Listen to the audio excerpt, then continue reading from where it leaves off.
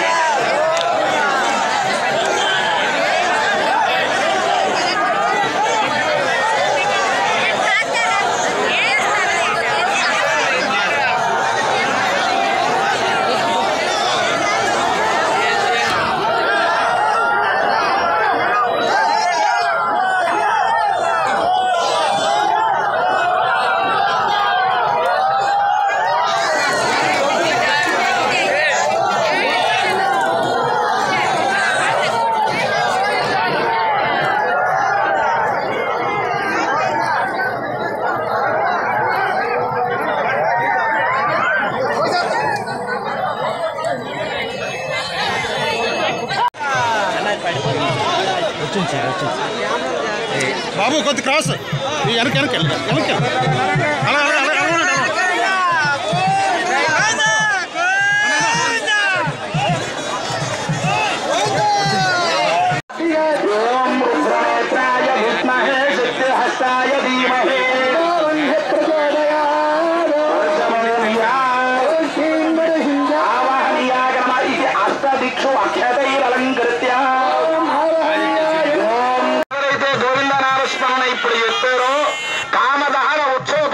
స్వామి మనకు ఒక కటాక్షిస్తాడు కనుక ఎవరైనా చెప్పలేని వాళ్ళు ఉంటే మహదాన పడకుండా చెప్పండి. శ్రీమత్